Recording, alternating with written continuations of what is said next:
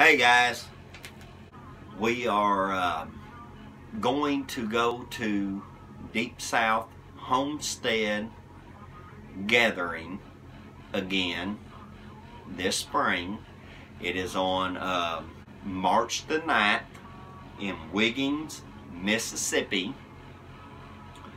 Uh, it's Danny and Wanda.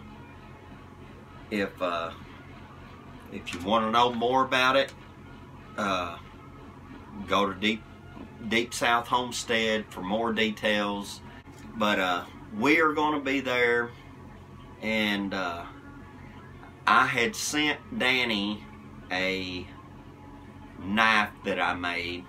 We had went down last year and found out about his Native American heritage, and uh, so I felt compelled to uh, give him something that would be from my heart to him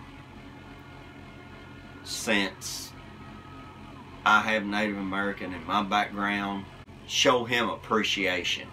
The whole time I was growing up, as soon as I realized and I understood knowing the native blood that was in me on the Cherokee side, I was compelled to go and and try to find anything out that I could to um, understand more about my ancestors on that side to how could they actually survive. I remember even as a teenager asking my grandmother many and many a times questions that I know she was probably sick and tired of hearing, but she gave me so much insight on, you know, what her people done, what what her ancestors done and everything.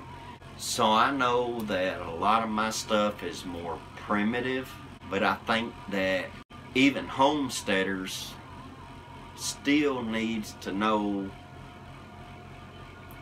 some of the old primitive ways because you never do know what is going to happen. They can have an arsenal over there and they can have bullets stockpile, uh, shell stockpile. What if something happens and you're not able to get more bullets, not able to get more shells, and you run out? You have to know something else besides just that to be able to survive. And that's where I'm coming from on this one. And this is some of the stuff that I will show uh, on making arrowheads. Probably to bring a few bows. Uh, I have one here that I'm been working on. I have to um, this here's hickory. I've got to uh, tiller it out to where the limbs is going to bend in the same or at the same length when it's pulled back and as soon as it does I'm going to uh, heat it over a fire and then I will bend the limbs into the shape that it needs to be and uh, and I will explain that while I'm down there. Hopefully this bow will be done, but I just wanted to put that out there so that you can kind of see what I'm talking about on that. And, uh, but if I don't get this one here done, I will definitely bring, bring Teresa's bow that I made her a couple years ago.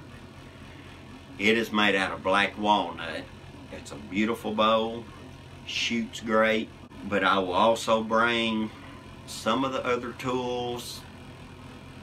Uh, I'm going to be doing some flint knapping, so I will be showing how to actually make arrowheads.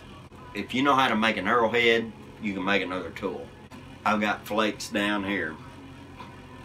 I don't know if you can see that very well that there's a flake off of a rock. It's as sharp as it can be, and I mean you can shave with that if you want to. If I really had hair, I'd show you. But I ain't really got no hair there, so. But you could do it.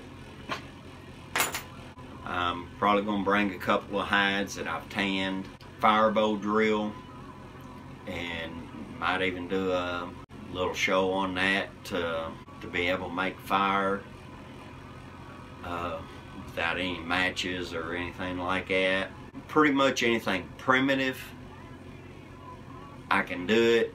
I'll bring some actual sinew uh, to show it in the raw form, which is, you know, tendons off of the back of animals, like some plant fibers, and show how you can twist them together to make rope, string, whatever you need. If you have any questions whenever you get there, feel free to ask because I'll be more than glad to answer them. Some of the things I do gets more into like prepping instead of homesteading, but I still think that regardless if you're just homesteading, you probably still need to know things about primitive ways too. Who knows what is going to happen but anyway, we will see y'all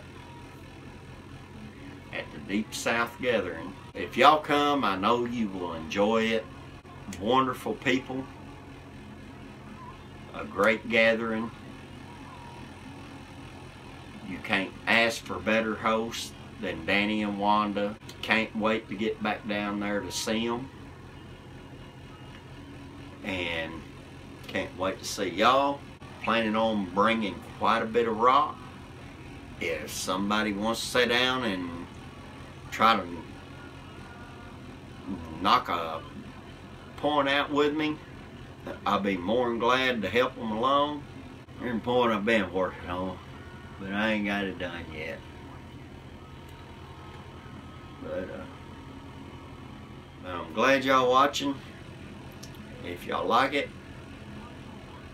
subscribe, and God bless y'all.